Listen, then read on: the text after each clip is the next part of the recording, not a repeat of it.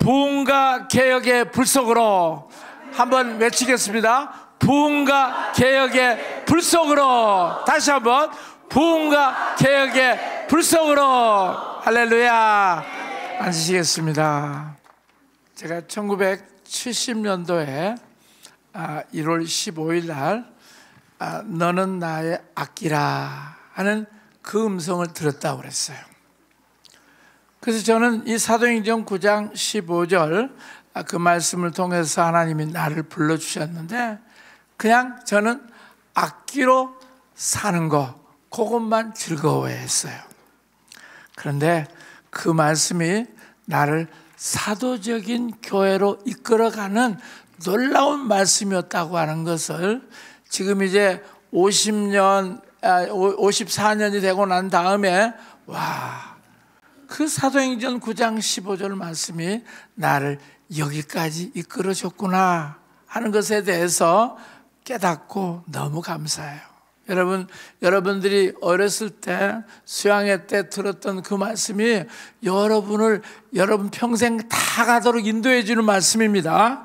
여러분의 부르심을 알게 해 주는 말씀입니다. 그래서 청년 때, 젊었을 때, 중고등학교 때 그 수양에 가서 들었던 말씀이 여러분의 삶을 불러주실 뿐만 아니라 미래를 이끌어주는 놀라운 말씀입니다. 그래서 저도 모르게요. 이 말씀을 듣고 난 다음에 제가 첫날 사도적 교회로의 그 부르심에 대해서 말씀을 했죠. 그래서 그 예수님을 개인적으로 만나고 그리고 또 예배 갱신을 하게 되고 그리고 또 옛사람을 벗어버리고 새 사람을 입는 그 일을 하고 또 은사를 나누는 자가 됐고 그리고 오중 사역을 이 땅에 펼치는 사람이 되고 나도 모르게 그 부르심으로 하나님이 저를 인도해 줬습니다. 그리고 이제 때가 되니까 영적 출애굽을 하라. 제가 교회를 13년 아, 동안 아, 그 개척해서 13년 동안 인도가 난 다음에 교회가 영적인 출애굽을 해야 된다. 왜냐하면 출애굽을 하지 않으면 이 약속의 땅을 알 수가 없고 출애굽을 하지 않으면 하나님께서 우리를 위해서 다음 단계로 부어 주시는 그 축복을 알 수가 없다는 거. 그러면서 영적 출애굽을 그렇게 했습니다. 그래서 1995년도에 2년 동안 그 아, 출애굽기를 강의하면서 정말 우리 교회가 영적 출애굽을 하게 됐고요. 그 다음에 97년도에 이제 출애굽이 끝나니까 저한테 여수아를 해라. 여수아를 하라. 그러면서 여수아를 통해서 요단강이 뭔가를 알게 됐어요. 요단강이 뭐라고 그랬죠? 요단강이 뭐라고 그랬어요? 형식 형식주의라고 그랬죠. 이 형식주의가 결국 우리의 뭘 빼앗아 버렸어요? 하나님의 사랑을 빼앗아 버렸어요. 그 다음에 상식주의가 뭘 뺏은다고 그랬죠? 하나님의 능력을 빼앗아가 버리고요. 그 다음에 세속주의가 하나님의 기쁨을 빼앗아가 버려요.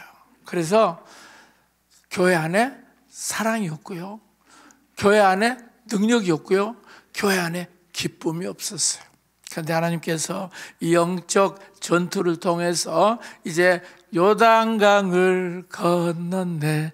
할렐루야, 할렐루야. 30일 왕을 정복했네. 할렐루야, 할렐루야. 우리는 정복자. 할렐루야, 할렐루야. 우리는 승리자. 할렐루야, 할렐루야. 함성! 할렐루야! 그러면서 요단강을 건넸어요. 근데 요단강을 건네고 난 다음에 이 난공불락의 요새가 나왔죠? 어떤 요새가 나옵니까? 여리고, 제리코. 여리고가 난공불락 요새처럼 나왔을 때 하나님께서 여리고를 알게 해주셨어요. 여리고가 뭡니까 했을 때 뭐라고 그랬어요?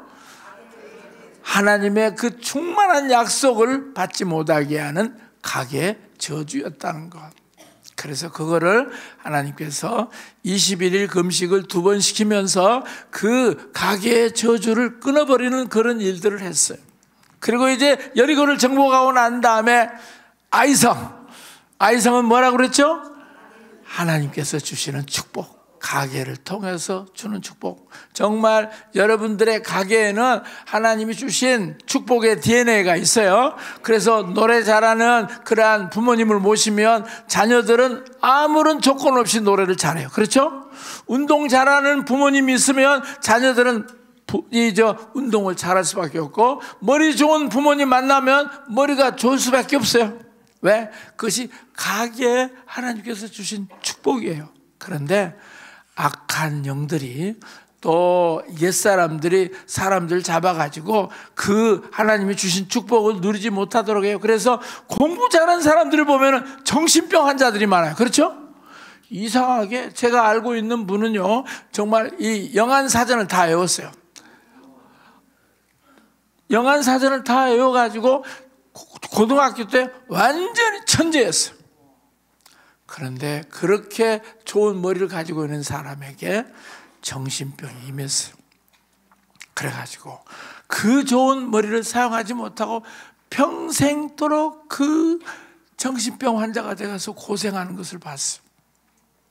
여러분, 하나님이 가게를 통해서 축복을 해주시고 또 예수 그리스도를 만나면 예수님 안에서 더 놀라운 축복을 누리는데 이 가게에 안 좋은 영들이 그 축복을 누리지 못하게 했는데 하나님께서 여리고의 저주를 끊어버리고 뿐만 아니라 이제 아이성의 축복을 받게 해서 우리로 하여금 그 하나님의 축복들을 마음껏 이 땅에 전파할 수 있는 사람으로 만들어 주셨어요. 그게 바로 영적 전투였어요. 그리고 하나님께서는 이제 그 이제 가정의 문제를 해결하는 아, 그러한 사람으로 시작을 했지만 이제는 하나님이 그때 했던 그 경험들과 그 말씀을 가지고 이 국가의 저주를 끊는 일들을 하게 해 주셨어요. 그리고 국가가 축복을 받는 길로 이끌어주는 사람이 됐어요. 여러분, 이거는 제가 계획한 것이 아니에요. 그냥 하나님께서 내가 너를 불렀을 때 너는 나의 악기로 불렀었는데 그 말씀에 순종하고 여기까지 따라오다 보니까 이제 그런 일을 할 수 있도록 만들어 주셨어요.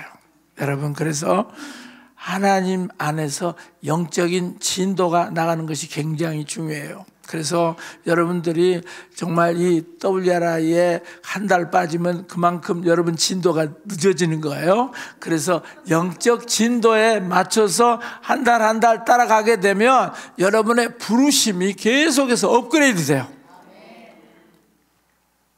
진도가 나갑시다. 옆에 계신 분들한테요. 진도가 나갑시다.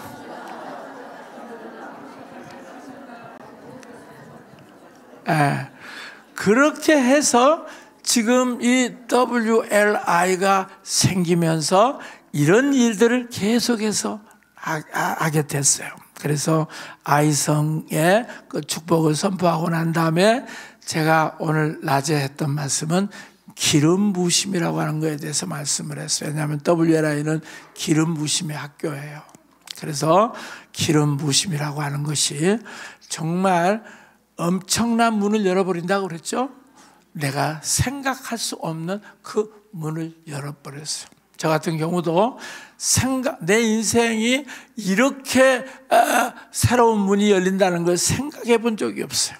그냥 제가 과천에서 새서울교회 그 교회 했으면 이제 그 교회 담임 목사로 끝날 수가 있었을 텐데 하나님이 기름 부심을 부어 주셔서 이제 담임 목사하는 그 한 교회를 위해서 내가 모든 것을 하는 것이 아니라 이제 나라와 열방을 위해서 사도적인 그러한 사람으로 불러 주신 것이 너무너무 감사해요.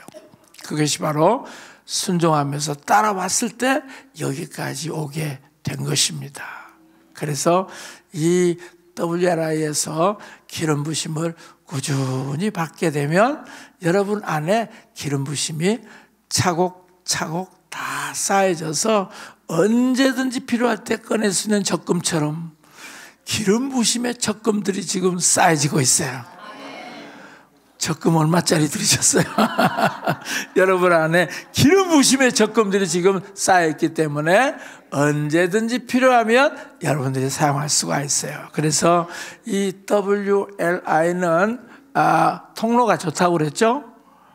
제가 오늘 얘기를 했죠? 뭐냐면 결국은 설교라고 하는 것이 인격을 통과한 진리이기 때문에 내 그릇이 오염이 되면 어때요? 내 설교가 참 비판적인 설교를 하는 사람들 있잖아요. 그러면 비판의 그 오염을 계속해서 흘러요. 그래서 교인들이 전부 비판적이 되는 거예요. 여러분, 지금 이, 저 보면 비판 많이 하는 사람들 있잖아요. 그러면 교인들이 다 그 영향을 받아요. 왜? 설교라고 하는 것은 인격을 통한 진리이기 때문에 그래요. 내가 깨끗하면 깨끗한 영향력을 나타내지만 이 지저분하면 지저분한 영향력들을 계속해서 흘러보내는 거예요. 그래서요, 딱 그 교회 교인들을 보면 목사가 어떤 사람인가 금방 알 수가 있어요. 아들 보면 누구를 안다? 아빠를 안다. 그 성도들을 보면 누구를 알아? 목사를 알아요. 이거는 어떻게 우리가 꾸며낼 수가 없어요. 닮아가는 거예요. 같이 살면 닮아가요. 그래서 정말 깨끗한 통로가 얼마나 중요한지 몰라요. 은사도 내 인격을 통해서 나타나는 기 때문에 이 은사가 오염이 되면 어때요? 계속해서 잘할 수도 있어요. 뭐 은사를 기가 막히게 잘 사용할 수가 있어요. 그러면 그 은사와 함께 오염된 것도 같이 흘러보내는 겁니다. 그래서 통로가 너무 중요하다는 것입니다.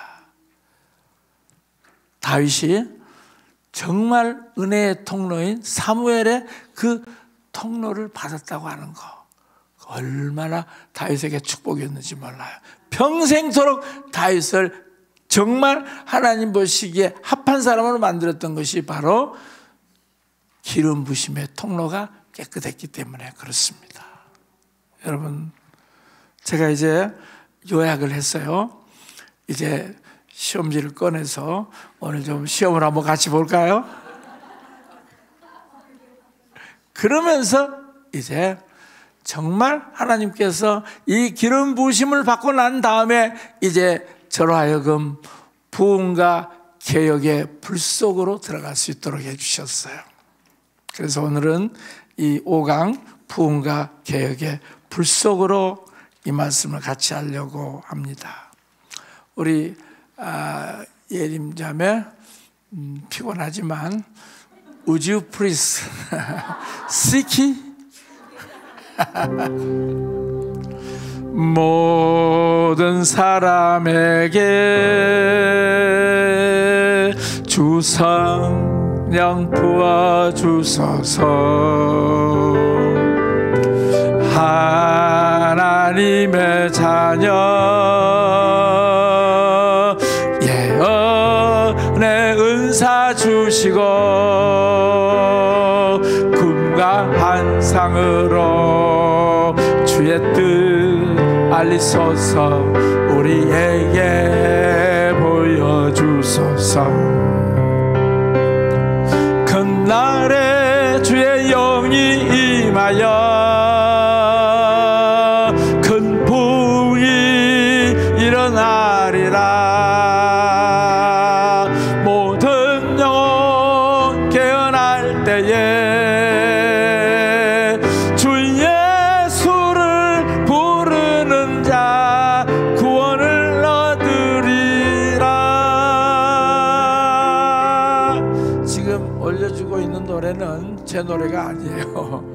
이거는 그 두란노 경비와 찬양에서 모든 열방에게 주성령 부주소인데 제가 이 노래를 듣고 난 다음에 굉장히 분했어요.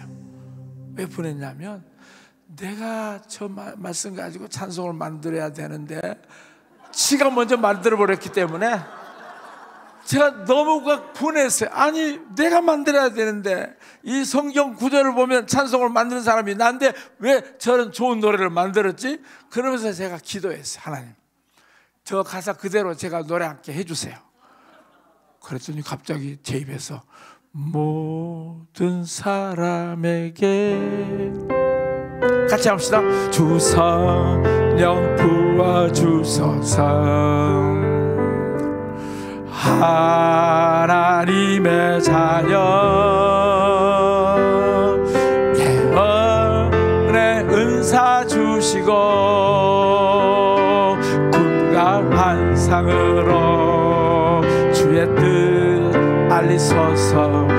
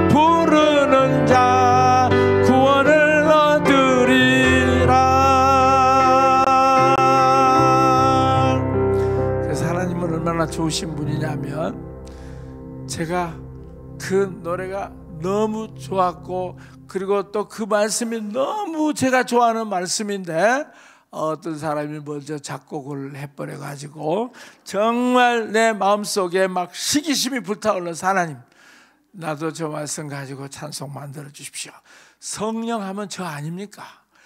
저에게 말씀해 주시고 저에게 노래 주셔야 되지 않겠습니까? 하고 좀 노래를 듣고 나서 바로 제가 교회에 들어가서 기도를 했어요 하나님 주십시오 그래야 되지 않겠습니까?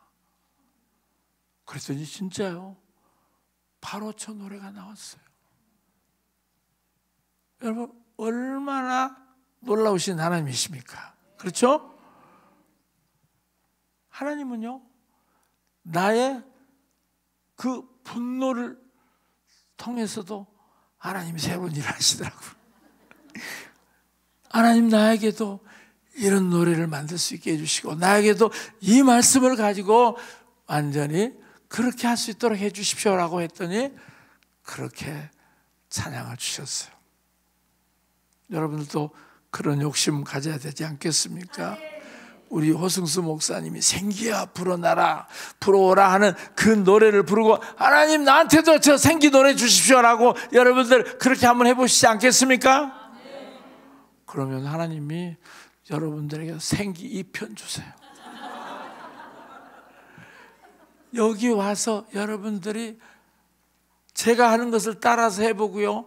호승수 목사님이 하는 것을 따라서 해보세요. 그러면 그냥 나타나는 거예요. 왜? 저는 해본 사람이기 때문에 여러분들한테 할 수 있다는 것을 가르쳐 주는 거예요. 여러분들은 안 해봤기 때문에 내 말만 들으면 할 수 있어요. 아멘?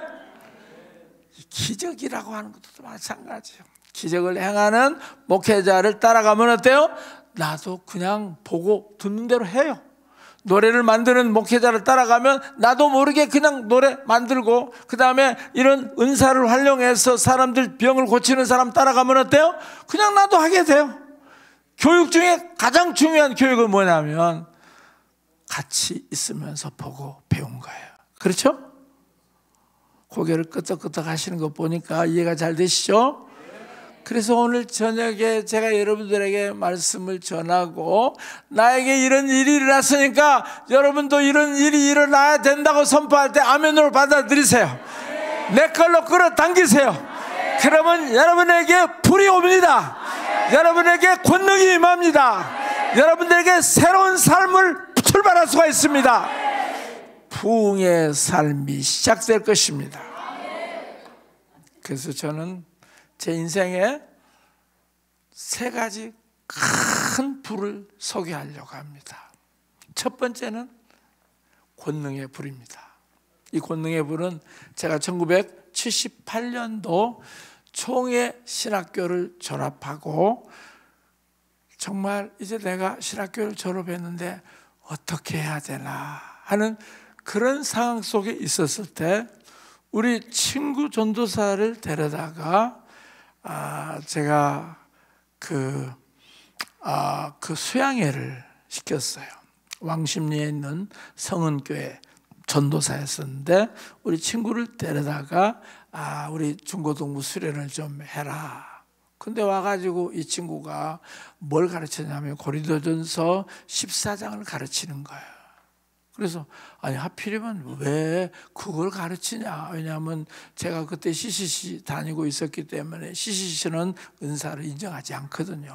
간사가 되려면 CCC 이 방언을 한다 그러면 떨어져요. 그게 미국 CCC가 하고 있는 거예요. 요즘에는 좀 많이 변화됐다고 하는데 방언을 하면은 직원으로 채용되지 못했어요. 여러분 CCC만 그런 것이 아니라 대부분의 학교에 워싱턴 데올라지카 세미나리에서도 제가 방언한다니까 그러면 입학할 수가 없다고 그랬어요. 정말 이 세상이 그런 은사를 받아들이질 않아요. 그런데 갑자기 이 친구가 그 고린도전서 14장을 얘기하는데 방언을 얘기하는데 내 성경에는 방언이 없었는데 얘 성경에는 방언이 있네? 어, 그리고 사도 바울이 이 은사를 사모하라고 하네. 나는 너희들보다 더 방언 말하기를 좋아하고 그런 얘기를 때 들으면서 어, 내 성경에는 없었는데 왜 얘 성경에는 있나? 아, 그러면서 이 말씀을 전하고 애들 기도를 시키는데 방언이 터져버리더라고요. 그래서 저도 계속 경계 예, 눈초리를 가지고 있으면서 저 친구 사입이 아니야? 혹시 이상한 거 아니야? 이초석 뭐 이런 사람 아니야? 뭐 이런 식으로 계속 이렇게 생각하고 있다가 어, 어, 어, 나한테도 뭐가 임하는 거야. 나한테도 계속해서 막 기도를 하는데 막 혀가 말리는 거야. 그래 하면서 할렐루야 할렐루야 하는데 완전히 그냥 방언이 터지면서 불이 임었어요. 불이 임하고 난 다음에 막 떼굴떼굴 내가 굴렀어요. 30분 동안. 그러면서, 와, 뭐, 무지가 그랬나요? 그만, 그만, 그렇게 했다고 그랬잖아요. 어, 근데 너무 뜨거우니까 그만해 줬으면 좋겠다 싶을 정도로 떼굴떼굴떼굴 내가 굴러다니면서 30분 동안 그 땀을 흘리고 그 다음에 불 받고 또 방언하는 그 일들이 있었어요. 그러고 난 다음에요. 제가 불 받고 나니까 정말 기도하고 싶더라고요.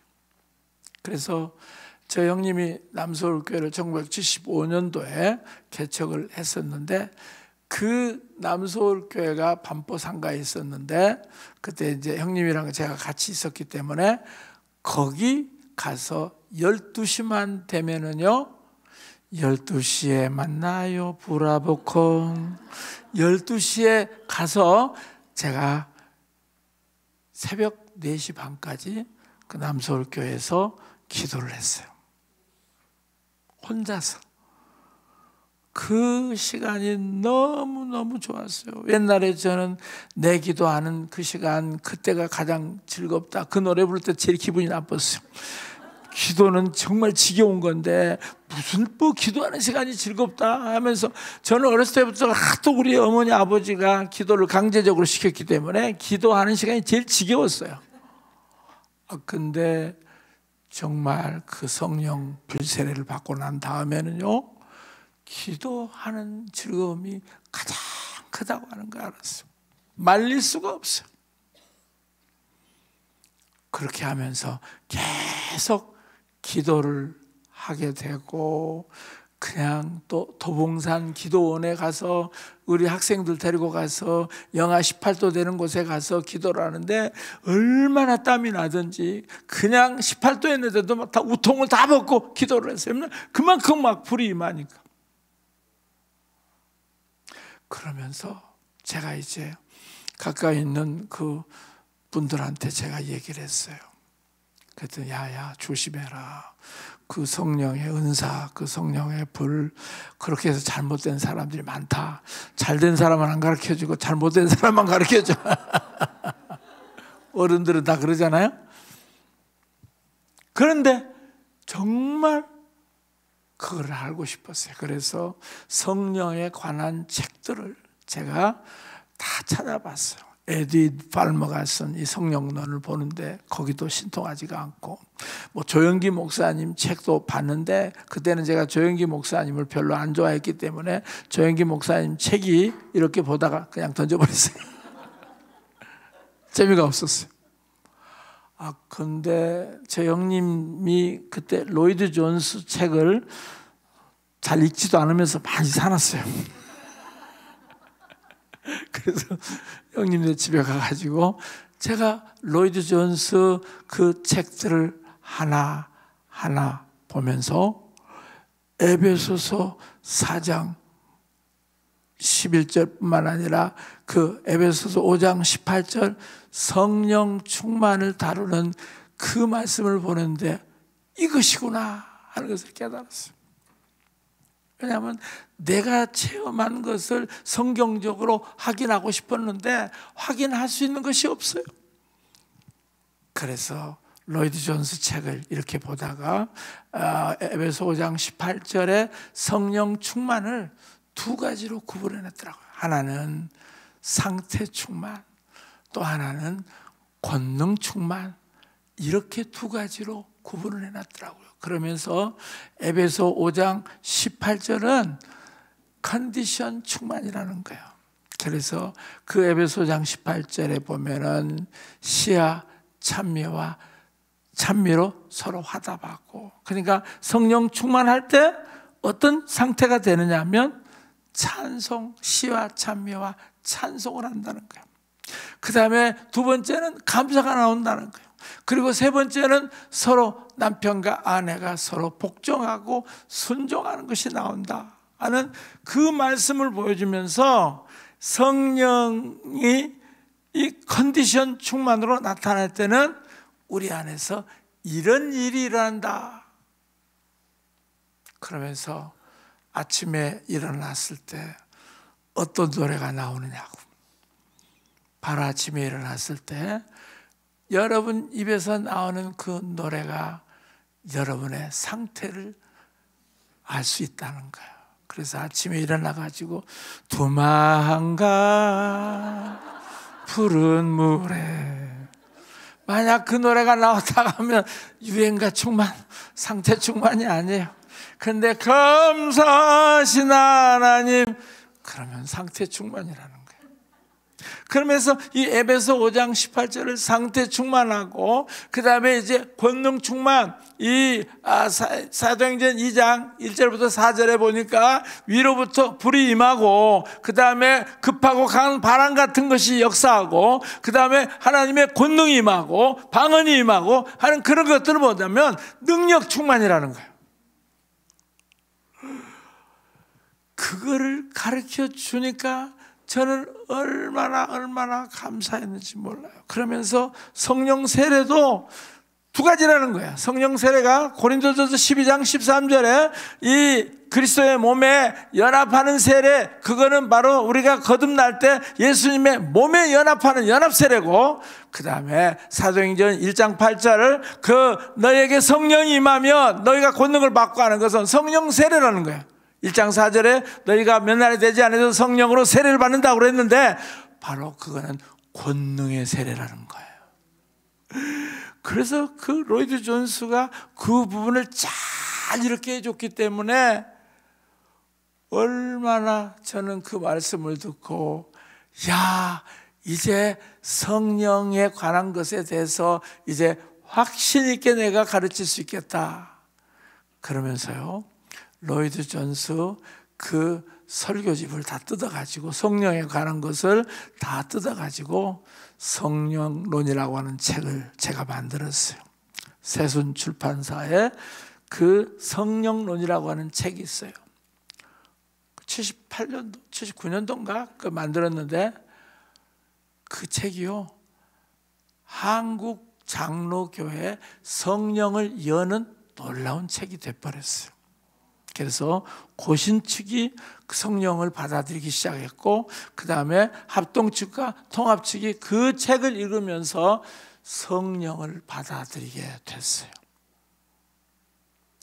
우리 김한식 목사님이 세상을 떠났지만 우리 김한식 목사님이 이 한사랑 성교회를 만들기 전에 사실 저를 만났어요. 그러면서 제가 이제 로이드 존스 성령론을 제가 얘기를 했더니 그러냐고 그러면서 그분이 그것을 받아들였어요.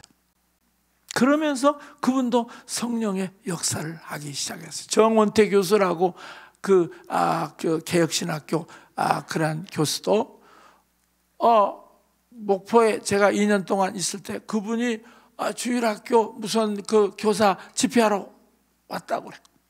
그러면서 저녁에 성령 충만에 대해서 설교를 하려고 그래서 어떤 성령 충만이냐고 그랬더니 존 스타트의 성령 충만이라고 그래서 아이고 그 존 스타트 시절이 지났다고 로이드 존스 성령론을 하셔야 된다고 그래서 제가 로이드 존스 성령론에 대해서 소개를 해줬어요. 그랬더니 그날 저녁에 그걸 가지고 설교를 했는데 그곳에 참석한 사람들과 성령의 불을 받았어요. 성령 세례가 임했어요.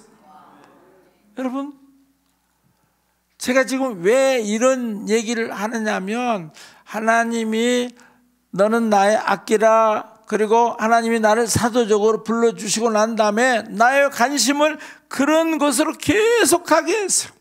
성령의 그 역사를 어떻게 성경적으로 사람들에게 잘 설명해 줄 수 있는가, 어떤 좋은 책이 있는가 하는 이런 것들을 알게 해서 그런 책을 소개해 주는데 또 저는 이렇게 소개해 주는 은사가 있잖아요. 새로운 것들을 소개하고 소금물이 좋다고 하면 막 사람들 소금 먹이고 뭐 전자 뭐가 좋다 그러면 크, 전자 담요가 좋다 그러면 가서 교인들 다 사야 돼. 저한테는 그런 이, 이 복음 전도에 또 열망도 있어요. 그러면서 성령론이 한국교회에 들어오면서 성령 사역을 하게 됐어요. 그게 바로 초창기에 받았던 권능의 불이었어요. 여러분, 오늘 한번 제가 물어보고 싶습니다. 여러분, 정말 나는 이 권능의 세례를 받았습니까? 성령 세례를 받았다고 하는 분들 한번 손을 한번 들어보시죠.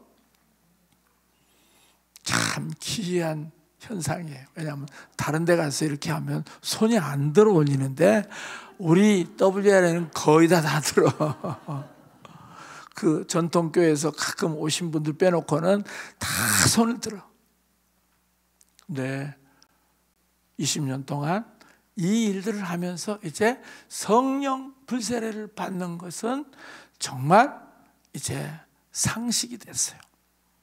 얼마나 감사한지 모르겠어요. 그래서 이 성령 체험을 하게 될 때요, 기도가 즐겁고, 그 다음에 말씀을 증거할 때 권능이 임한다는 것을 알게 되고요, 그 다음에 예수님을 더 사랑하게 됐어요. 여러분, 이 성령의 권능의 불 받아야 되지 않겠습니까? 여러분들이 이제 권능의 세례를 받았으니까 이거는 넘어가야 될 것 같아요. 자, 그 다음에 두 번째는 부흥의 불을 받았습니다. 1993년도 12월 마지막 주 어바나 컨퍼런스 때 제가 그 어바나 컨퍼런스를 참석했어요. 뭐 그때 오정현 목사도 참석을 했고 그 다음에 또 뭐 정민영 선교사, 한정국 선교사, 뭐 하여튼 그 당시에 그 얼바나 컨퍼런스에 참석한 사람들이 참 많이 있었어요. 근데 저는 그 얼바나 컨퍼런스 우리 막내 동생이 다뭐한 2만 명의 선교 지망생들이 모인다고 아, 거기를 가보면 너무 좋다고 그러면서 새로운 해를 맞이할 때 얼바나 컨퍼런스는 너무 좋다고 그래요. 그래서 제가 저희 막내 동생 얘기를 듣고 이제 그 시카고 남단에 있는 얼바나 컨퍼런스를 참석을 했었어요. 근데 예배를 드리는데 내가 잘 알지도 못한 노래. 무슨 노래를 부르냐면 예수 예수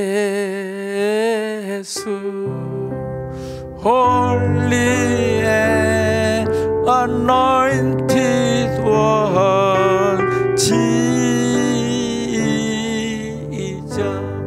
막그 노래를 하는데요 계속해서 막 불이 오는 거예요 와저 노래가 그때는 제가 확실히 듣지를 못했어요. 그냥 지저스만 들리지. 홀리는 들렸어요. 우리 허승수 목사님도 홀리는 듣잖아요. 어노인티드라는 말은 잘 안 들렸어. 그래서 막 손을 들고 하는데 막 눈물이 쭉쭉 나면서 막 불이 임해요. 그 다음에 그 다음 노래를 하는데 it shine. 그 노래가 무슨 노래죠? 주의 햇불 들고 열방에 나가세 나는 내는 주 우리 모두 내이 노래를 막 하는데 계속 shine, shine 하는 막 불이 막 비치는 거예요. 불이 막 내 안에 막 터져 나오는 그래서 4박 5일 동안 그 예배만 드리는데 누가 와서 설교를 하는데 그 설교는 하나도 안 들렸어요. 아, 제가 그래도 히어링은 된다고 그렇게 생각했는데 또 노래를 부르는데 전혀 히어링이 되지도 않을 뿐만 아니라 그 다음에 말씀을 하는데도 잘 모르겠더라고요.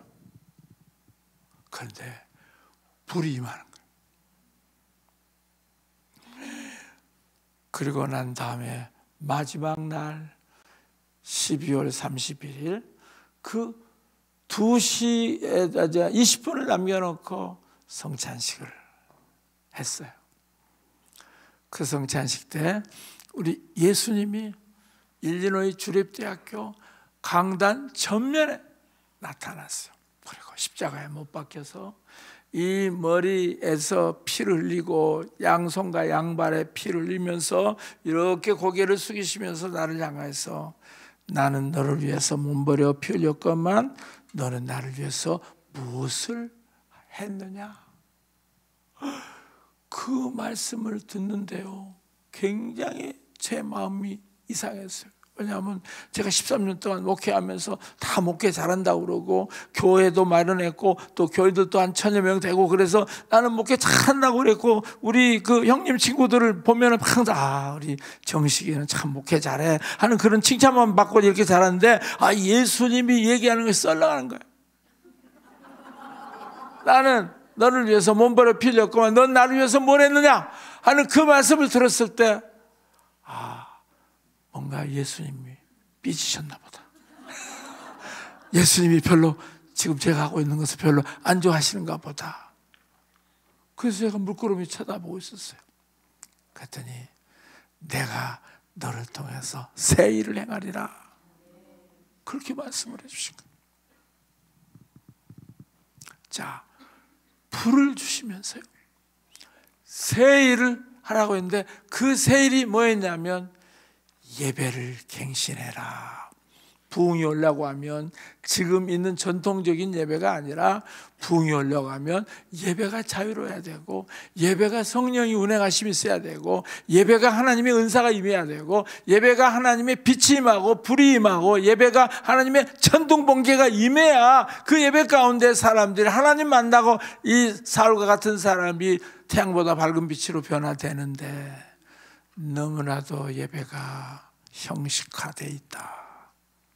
그러면서 예배 갱신의 사명을 받게 돼요.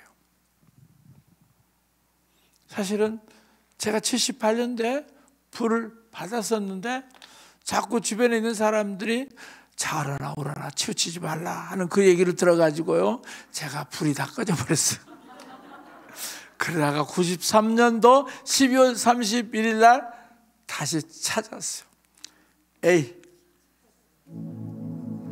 다시 찾은 불 내 맘속에 불길처럼 타오르네 성령에 불러서 내 영혼 새롭게 하네 다시 찾은 분 내 맘속에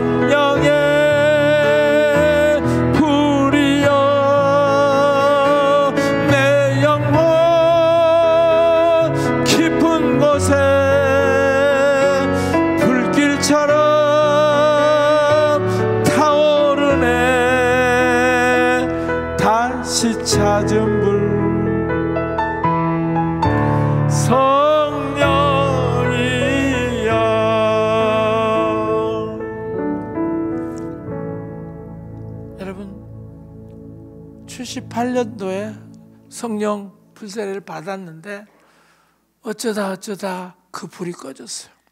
그러다가 93년도 12월 마지막 주간에 그 불을 다시 찾았어요. 그러면서 이 불이 바로 부흥의 불이라고 하는 것을 알았어요. 그래서 정말 이제 찬 목사님이나 또 루잉글이나 와서 뭐라고 얘기하냐면 이 부흥을 경험하려면 부흥지를 방문해야 된다는 거예요. 그래서 자기들은 뭐 아르헨티나도 갔다 오고 또 토론토에도 갔다 오고 하여튼 부흥이 일어나는 곳마다 다 갔다는 거예요. 그러면서 제가 그 말씀을 들으면서 야 우리 HIM이 부흥지를 방문해야 되겠다. 그러면서 예루살렘 마가의 다락방에서부터 시작해 가지고 또 이 이스탄불, 이 터키 그리고 또 유럽 또 모든 이제 영국까지 그 부흥지 그다음에 카나다 뭐 토론토 그리고 하여튼 우리가 갈 수 있는데 미국에 있는 뭐 척피어슨의 교회, 제 목사님의 교회, 베델 교회 그리고 하여튼 부흥이 일어나는 뭐 그렉 브라운의 교회까지 다 돌아다니면서 부흥을 사모했어요. 여러분 결국은 부흥의 영을 받으려고 하면은 부흥이 일어나는 곳에 가야 돼요. 그렇죠?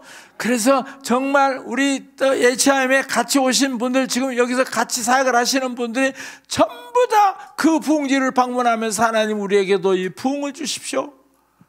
그렇게 우리가 지금까지 해 왔습니다. 그래서 우리 지금 이 HIM의 그 컨퍼런스 이름이 뭐죠? 부흥과 개혁의 컨퍼런스. 그래서 저는 이 아, 얼마나 성교에 대때 그때 그 부흥의 불을 받고 난 다음에 내 가슴 속에 정말 이 부흥의 불이 계속해서 타오르면서 그곳을 가서 계속해서 하나님 우리에게 이 부흥을 주십시오. 라고 그렇게 했어요. 그러면서 그때 그때마다 하나님께서 진도에 따라서 말씀을 주시고 또 하라고 하는 것들을 해 나가면서 오늘 여기까지 오게 된 것입니다. 여러분 그냥 WLI는 그냥 생긴 것이 아니라 그렇게 수많은 사람들이 부흥을 사모하는 그 마음으로 계속해서 오늘날 이 부흥의 예배를 지금까지 이렇게 왔던 것입니다. 제가 처음에 예배 갱신을 시작을 했을 때 그때부터 계속해서 예배의 불이 점점 커지고 점점 커지고 점점 커져서 많은 사람들이 이곳에 오기만 하면 완전히 예배 때 하나님의 부흥의 영을 받습니다. 여러분에게 그런 역사가 있게 되기를 선포합니다. 오늘 시간 한번 같이 기도하겠습니다. 하나님 부흥의 불을 주십시오. 오늘 우리의 그 뜨뜻한 뜨뜻 미지근한 마음속에 하나님의 성령의 불을 부흥의 불을 주십시오. 하나님 새로운 부흥의 불이 임할지어다 다시 찾을지 어다 이 식었던 마음속에 하나님 다시 불을 내려 주십시오. 우리 주여 하면서 같이 기도하겠습니다. 주여 오 아버지 하나님 오늘 이 시간에 부흥의 불을 선포합니다. 아버지 WLI의 그 모든 과정이 바로 이 부흥을 향하여서 나가고 있었고 아버지여 부흥을 아버지여 선포하면서 여기까지 왔는데 오늘 이곳에 있는 아주 많은 사람들의 마음속에 아버지여 부흥의 불을 내려 주십시오. 부흥의 불을 내려 주셔서 아버지여 사명을 받게 해 주십시오. 사명의 불이 임할지어다. 사명의 불이 임할지어다. 성령의 충만함을 부어 주십시오. 아버지 그래서 이 더블제라에 오기만 하면 아버지여 불이 붙어져서 가는 곳곳마다 불을 붙이는 사람들이 되게 해 주십시오. 아버지여 부흥의 햇불을 들고 아버지여 세상을 향해 나가서 하나님의 그 불을 아버지여 온 세상에 변화시키는 사람들이 되게 해 주십시오. 그렇게 하실 하나님을 찬양합니다. 그렇게 해서 부흥의 그 역사를 계속해서 했을 때 WRI가 생기고 HIM 그 다음에 2017년은 ARN이 생기고 그 다음에 2021년도는 국가 부흥 기도 네트워크가 생기고 슈퍼블룸을 통해서 계속해서 부흥에 불을 붙이고 있습니다. 그 다음에 이제 세 번째 오늘 제가 강조하고 싶은 것이 바로 개혁의 불입니다. 오늘 이 영상을 한번 띄워주셨으면 좋겠어요. 2019년도 그 파멜라 그때는 하디였는데 파멜라 하디가 왔을 때 그때 정말 세 번째 불을 받았어요. 우리 한번 This is how the Lord wants to send us out. 아, 주님께서 오늘 마지막에 이렇게 우리를 파송하길 원하신다는 감동이 있습니다. But we're going out with fire. 그죠? 불을 통과하며 가는 겁니다. And we're going to rebuild the altars of this nation. 그래서 이 나라의 재단을 새로 쌓을 것입니다. Here's what I hear the Lord saying about rebuilding the altar of Korea. 재단을 다시 한국의 재단을 쌓, 다시 쌓는 것에 대해서 하나님이 이렇게 말씀하십니다. First, in your homes with your families. 먼저 너의 가정, 너의 가족의 재단으로부터 시작해야 한다. Then, where you are employed or your business. 그리고 너희들의 사업체, 그리고 너희들의 직장 사무실, Then, your ministry or your church. 그리고 교회 혹은 사역. Most of all, 무엇보다도 let's lift the kingdom of God 하나님의 나라를 높이 들어올립시다. above the kingdom of this world. 이 세상의 나라 위로 하나님의 나라를 두셔야 합니다. The kingdom mountains will be exalted. 그래서 하나님의 산 여호와의 산이 높아질지어다. Amen. 아멘. 주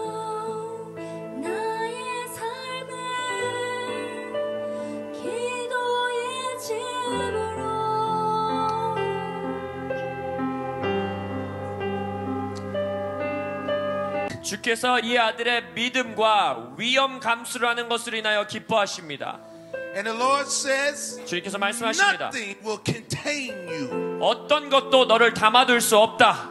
And your, your, your capacity 너의 용량은 is bigger than the container that you're in. 지금 네가 들어가 있는 컨테이너보다 더 큰 용량을 가지고 있다. So nothing can hold you, man of God. 그래서 하나님의 아들아 너를 누구도 Because 가- 어, it's 막아놓을 수 없다. Because as big as your faith, 왜냐면 너의 믿음이 큰 만큼 heaven is bigger.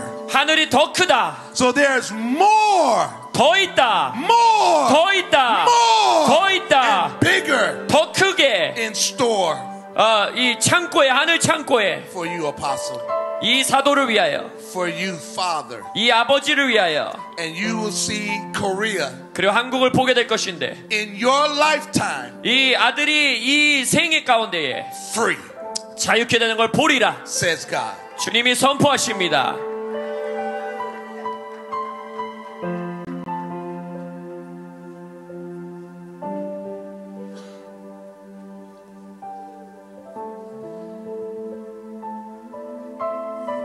Apostle Hung, Dr. Hung, 홍 목사님께 because you don't box God in, 하나님을 박스에 가둬 놓지 않은 분이시기 때문에 you never keep God in a box. 하나님을 어떠한 틀, 구조, 박스에 담아 놓지 않았던 분이기 때문에 So the Lord says over you, man of God, 주님이 말씀하십니다. 나의 종아, the fire will never go out. 불이 절대 꺼지지 않을 것이라. Hallelujah. The fire will never go out. 불이 절대 꺼지지 않을 것이라. And anything that tries to contain you, 어떤 것도 너를 담아두려 하고 막아서려고 하는 것은 the fire will burn it. 불이 그. 컨테이너를 태워버릴 것이라. So go forth, 그래서 전진하라. says God. 주님 말씀하십니다. The fire in you will never go out, 너의 아들아 너의 안에 있는 불은 꺼지지 않을 것이라. says God. 주님 말씀하십니다. Give the Lord a praise. 주님께 찬양의 외침을 드립니다.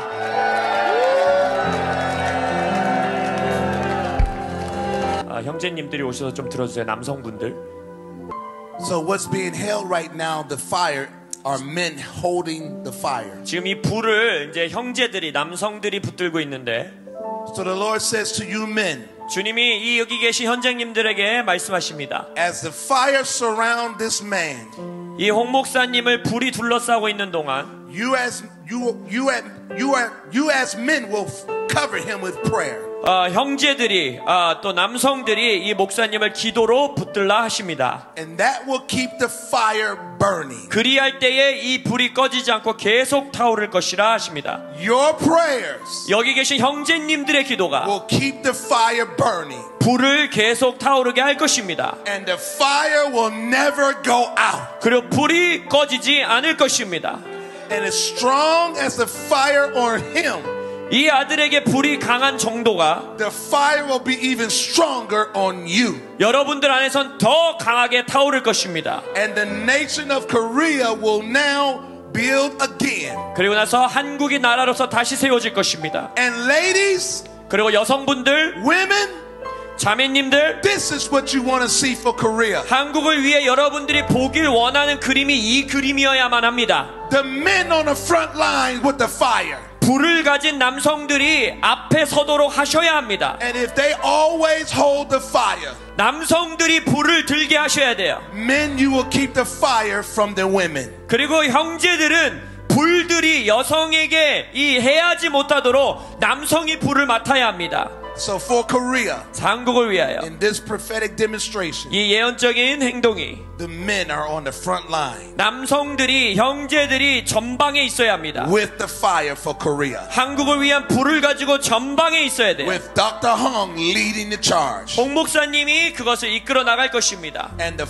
fire will never go out, says the Lord. 그리할 때 불이 꺼지지 않으리라 주님이 선포하십니다. Give the Lord a shout. 주님께 다시 한번. 샤우팅합니다.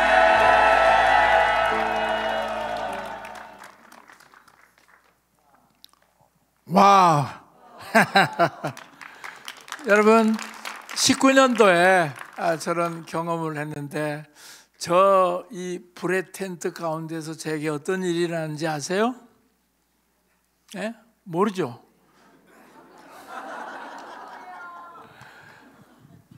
불타올랐어요. 나는 이렇게 막 쉐이킹을 잘 안 하거든요.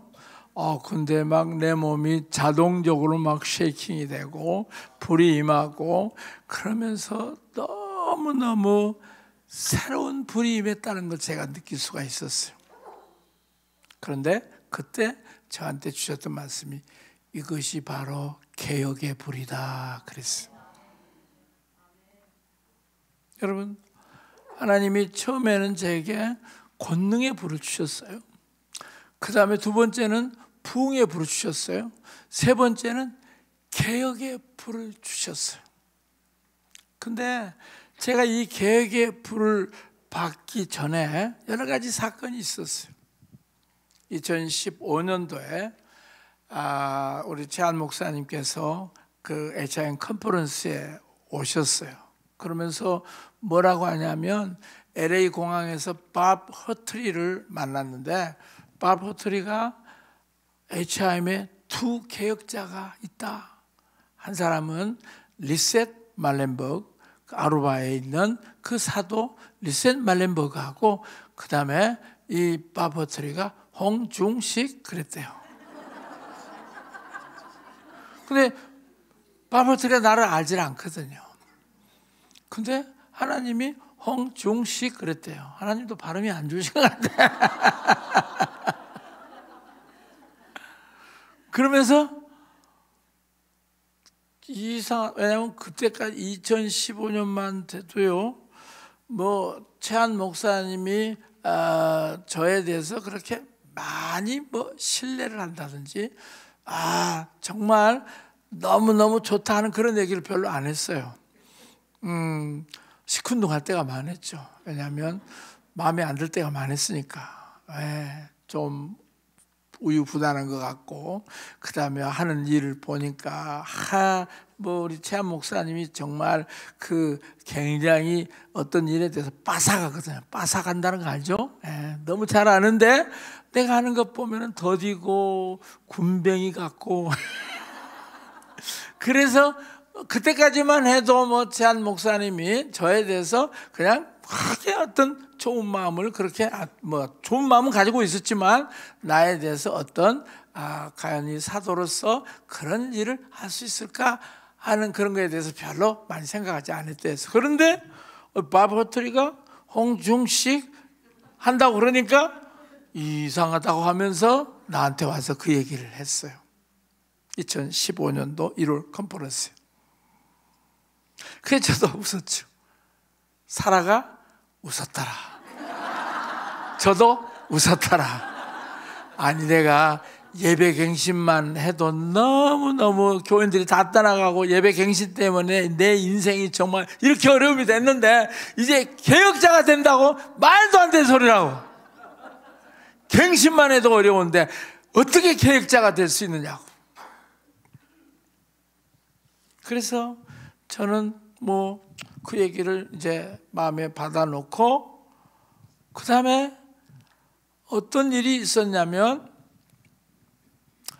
2016년도에 같이 그 최한 목사님이랑 또 마이크 비클이랑 이런 분들이 교황을 만났어요. 교황을 만나가지고 정말 난리가 났어요. 이거 그렇지 않아도 한국에서 신사도만 돼도 너무너무 어려운데 거기다가 이제 전주교하고 관련되면 이 HIMWRI 한국에서 끝입니다. 그러면서 교황을 만났다고 하는 그거 하나 때문에 난리가 났어요. 맞습니다? 그래가지고 정말 어려웠어요. 전화를 해서 최한 목사님하고 얘기를 해야 된다. 뭐 이제 그런 얘기를 하고 그랬는데 정말 어려웠어요. 그러면서 어떤 분들은 우리가 HIM 간판을 떼고 WRI 간판을 떼고 이제 목사님 지금까지 많은 그 사도와 선지자를 세계적으로 알고 있으니까 목사님의 이름을 가지고도 얼마든지 이 초청할 수 있지 않느냐고 우리가 옆에서 도울 때니까 이 간판을 좀 떼자고. 그런 얘기까지 했어요. 근데 그런 얘기를 했을 때 저도 야 정말 이 천주교하고 만나서 이렇게 하면 이렇게 되는가 보다 한국에서는. 그래서 제 마음속에도 그러면 간판을 좀 떼볼까 하고 기도를 하는데 갑자기 아니야. 나는 아버지를 바꿀 수가 없어 피터 와그너 박사님이 그래도 나의 아버지가 되시고 피터 와그너 박사님이 그 이름을 나한테 유업으로 줬는데 내가 하다가 안 되면 그만두고 뭐 탁구장이나 해서 살지라고 생각을 했었어요. 그러면서 안 되면 내가 다른 거 한번 살, 살지. 그리고 정말 이 피터 와그너 박사님의 이 이름이 있는 이 WLI를 가지고 승부를 보다가 안 되면 내가 다른 일을 하겠다 하면서 그냥 결단을 내렸어요. 하겠다고. 그랬더니 그때 좋은 사람들이 참 많이 떠났어요. 아, 정말 이 HIM은요, 그 미국에서 기침을 하면 HIM은 감기를 걸려요. 누가 또 뭐 그 사역자가 무슨 뭐, 어, 뭐, 스- 뭐야, 뭐 동성연애 했다. 뭐 그러면 또, 또 우리 뭐 많은 사람들이 또 빠져나가. 이번에도 뭐 아이압에서 무슨 일이 났다 그러니까 얼마나 그런 것에 많이 흔들릴지 몰라요. 정말 험악한 세월을 보냈어요. 근데 저희들이 이제 2016년도 아, 그런 어려움이 있을 때 과연 2017년도 컨퍼런스를 해야 되는가? 왜? 너무 사람들의 마음이 이 천주교 문제 때문에 너무 어려웠어요. 근데 기도를 하다가 하자.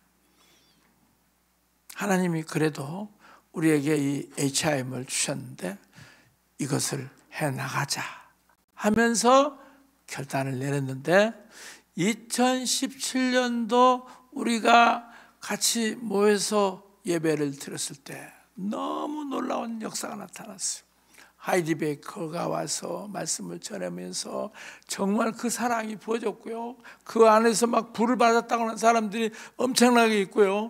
그러면서 하나님이 저한테 뭘 말씀해 주냐면 44명의 개혁자들을 불러라 그랬어요. 그래서 44명의 개혁자를 하나님께서 찾는다고 합니다. 그래서 44명만 쓸 수 있도록 44명 그 이름 그거를 해놨어요.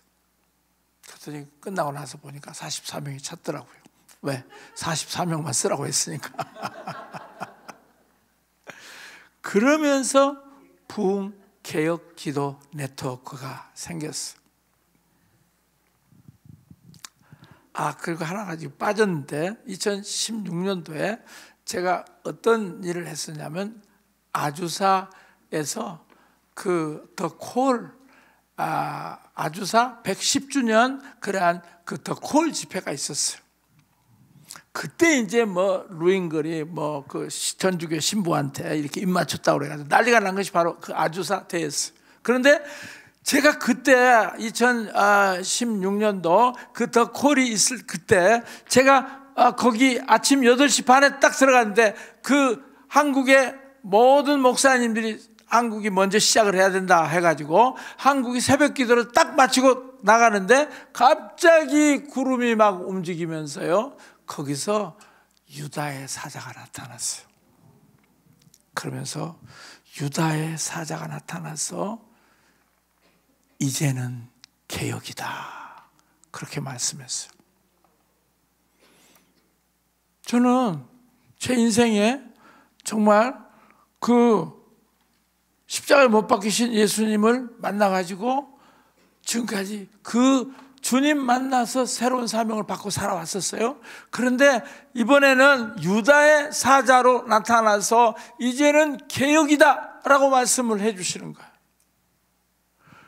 그러면서 야 유다의 사자 정말 나는 그 유다의 원래 동물 그림을 별로 안 좋아해요. 그래서 자넷 현이 그린 그림 보면 별로 안 좋아했어요.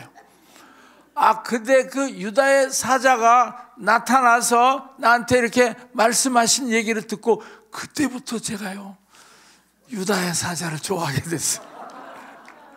저 별로 동물 안 좋아해요. 개도 별로 안 좋아해요. 그래서 개한테 가서 발로만 이렇게 해피한테 가서 발로만 별로 안 좋아.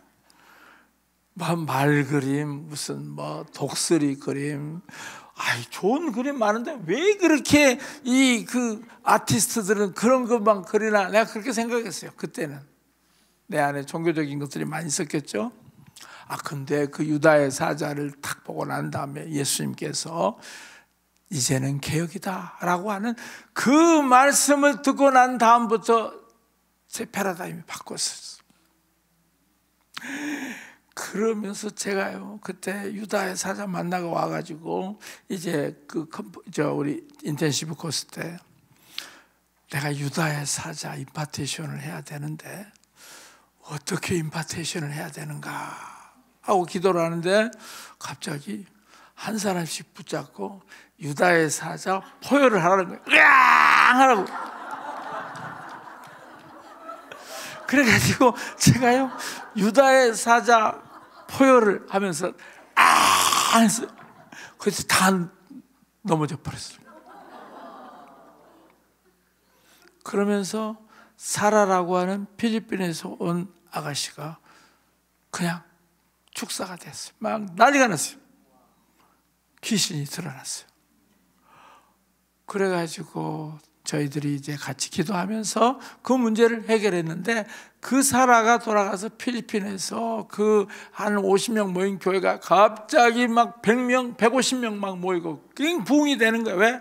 여기 와서 축사를 받고 난 다음에 살아계신 하나님의 능력이 막 임하니까 가서 선포하고 기도하니까 엄청난 역사가 나타났어요. 그래서 필리핀 WNI가 완전히 확실하게 자리를 잡았던 것이 바로 사라가 유다의 사자 포효 소리를 듣고 넘어졌을 때 그때 필리핀 WNI는 살기 시작했어요.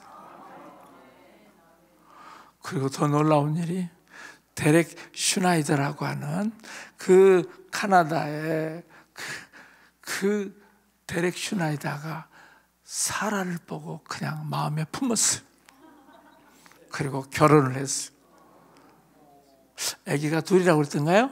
아기가 둘이 있는데 정말 그 유다의 사자의 그 포효 소리를 했을 때 사람들에게 그런 역사가 나타나는 걸 보면서 와 개혁이구나 이제는 어떤 상대도 유다의 사자 앞에서는 넘어질 수밖에 없고 유다의 사자가 가는 곳마다 축사가 나타나고 유다의 사자가 가는 곳마다 승리가 일어나는구나 하는 것을 확신을 갖게 됐습니다. 그러면서 이 개혁의 그 채찍을 더해서 지금 하나님께서 개혁의 불을 계속해서 증가시키고 있어요. 그래서 보세요. 우리가 지금 어떤 계획을 하고 있습니까? 자, 말틴 루터는요, 믿음으로 의롭다. 신학의 계획을 했었죠. 그 다음에 회중 찬송을 만들었어요. 그 당시만 해도 Gregorian chant라고 하는 오레리 하면서 이상한 주문 같은 그 가톨릭 했잖아요. 그런데 마틴 루터가 그 당시에 뭐 오페라에 나온 노래 내주는 강한 마탄의 사수에 나오는 내주는 강한 성 거기다가 가사를 붙여가지고 노래를 그리고 또 술집에서 부르는 그런 것들을 이 독일어로 이 가사를 해가지고 만들었어요. 엄청난 부흥이 일어났어요. 해중 찬송을 하는 붕이 일어났어요. 그 다음에 독일어 성경 번역해서 사람들이 이제 라틴어로만 있어가지고 성경을 전혀 읽지 못했던 사람들이 이제 독일어 성경을 읽게 됐어요. 자, 마틴 루터는 믿음으로 의롭다 이신칭이라고 그러죠? 신학의 개혁을 했어요. 근데 우리는 교회 일터 가운데 오중 사역자를 세우는 계획을 지금까지 하고 있어요. 20년 동안 주기, 주구장창 우리가 외쳤던 것이 뭐냐면은 새 부대가 돼야 된다. 새 부대가 되게 하여 주사. 알죠? 새 부대가 되어야 하나님의 그 포도주가 부어지기 때문에. 근데 그 새 부대는 뭐예요? 오중 사역의 새 부대라는 겁니다. 여러분 한번 생각해 보세요. 하나님이 사도와 선지자, 복음 전도자, 목사와 교사 다 각각 하는 일을 달리 하도록 했어요. 그리고 사도에게 주는 권한이 다르고 선지자에게 준 권한이 다르고 복음 전도자에게 준 권세가 다르고 목사와 교사에게 준 권세가 달라요. 그래서 하나님은 정말 이 사도와 선지자를 세워서 그 하나님께서 부어주고 싶은 것들을 다 부어주려고 하는데 결국 어때요? 사람들이 그걸 막아놔서 신학으로. 사도와 선지자는 성경이 만들어지고 난 다음에 끝났다.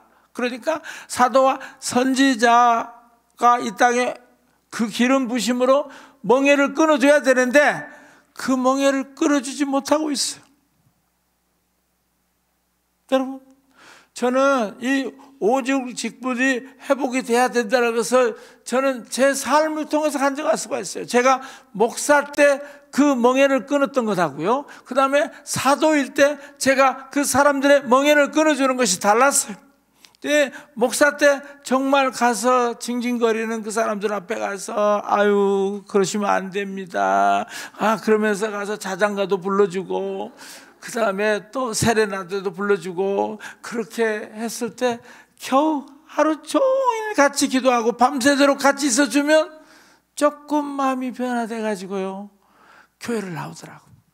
그래서 목사라고 하는 것이 참 별것이 없구나. 가서 그렇게 오랫동안 했는데 사람들이 별로 변화가 없고 그 다음에 또 무슨 문제가 있으니까 교회를 떠나버리더라고. 근데 이제 2006년도에 사도 안수를 받고 난 다음에 완전히 선포하니까 놀라운 일들이 막 일어나는 거예요. 사람들 집 문제를 해결하는 기도를 딱 해줬더니요. 완전히 집 문제가 해결이 되고요. 아, 목사님이 기도해줘가지고 안판에선 집이 팔리기 시작을 했고요. 그러면서 기도를 해주니까 또 사람들이 아, 우리 아들이 이번에 시험에 합격했어요. 그 다음에 나라를 위해서 기도하니까 그 나라를 위해서 기도했던 것들이 그대로 이루어지는 것을 볼 수가 있어요. 여러분, 저는 제가 목사였을 때 했던 것하고 사도였을 때 했던 것이 전혀 다른 것을 알았어요. 그런데 이 부분이 열려지지 않으면 하나님이 억지로 붙질 않네요. 사도가 없는데 하나님이 막 그 한국 교회 목사님한테 아, 그래 사도 받아야 돼 사도 선지자 받아야 돼 그래야 내가 보주어 그렇게 하실까요? 아니요 하나님은 마음을 열지 않으면 억지로 강압적으로 그 마음을 열지 않으세요. 그래서 우리는 정말 오중 사역의 개혁을 해야 됩니다. 그래서 이번 1월 컨퍼런스에서 우리는 사도와 선지자 8명을 세우려고 합니다. 계속해서 매년마다 하나님이 정말 그 하라고 하는 사람들에게 완전히 그 사도와 선지자를 부어서 이제 한국교회가 오중 사역이 이끄는 교회로 만들어야 돼요. 그래야 하나님의 새로운 성령의 역사가 더 부어지기 때문에 그렇습니다.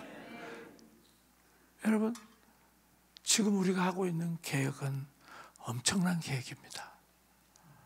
목사 중심의 교회를 오중 사역 중심의 교회, 사도와 선지자가 이끄는 교회로 개혁하는 것. 이것이 우리가 개혁해야 될 것입니다. 그뿐만 아니라 또 우리가 개혁하는 것은 어떤 것입니까? 자, 7대 영역에 하나님의 일꾼을 세워서 영적 전투하면서 사회를 개혁하기 위한 7대 영역의 계획을 우리는 지금 하고 있습니다. 첫 번째 예술가 축제 산에는 이세벨의 영을 제거하는 기도를 하고 있고요.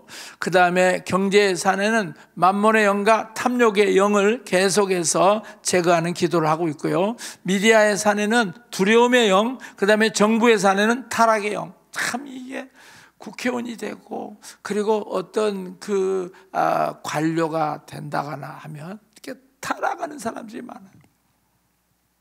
그래서 이 타락의 영을 영적 전투를 해야 됩니다. 그 다음에 교육의 산에는 교만의 영과 인본주의의 영을 제거해야 되고요. 종교의 산은 우상숭배의 영을 제거해야 되고, 이 가정의 산에는 거절의 영. 이 가정 안에서 얼마나 거절이 많았습니까?